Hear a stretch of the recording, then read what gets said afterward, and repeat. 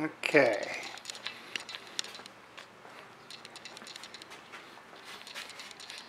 Can't see much, can you?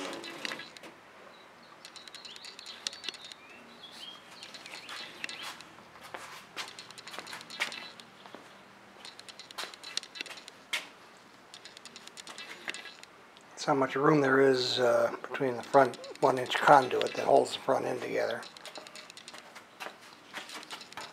The radiator, the trans cooler.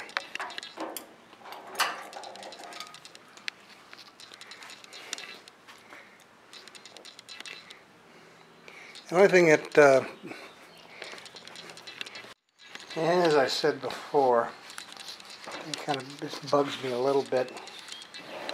See the bottom, the bottom piece of conduit, it angles in, and moving it out um, three and a half inches may take up all the slack.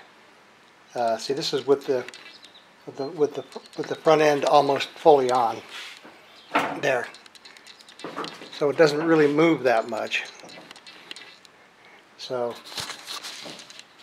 from this point to here, and the stub is going to have to come out, be welded here, or maybe up a little higher.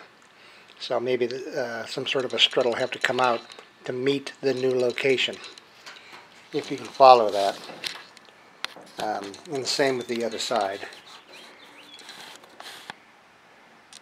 Same deal over there. So that, that would be the only thing that could screw things up.